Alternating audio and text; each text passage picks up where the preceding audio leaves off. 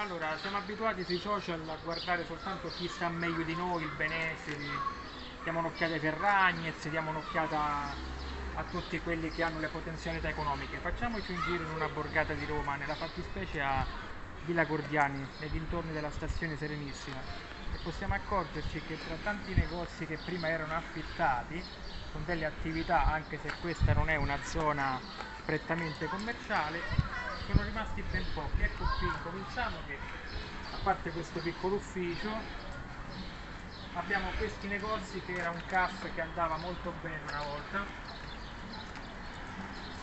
in affitto. Abbiamo questi due negozi più avanti sulla sinistra che era un magazzino più avanti ancora nella via parallela c'era un grande panificio che funzionava veramente, veramente bene, tre serrande, 150 metri quadri di locale chiuso per crisi. Mostriamo ogni tanto anche questo sui social, non si sa mai, qualcuno si sveglia.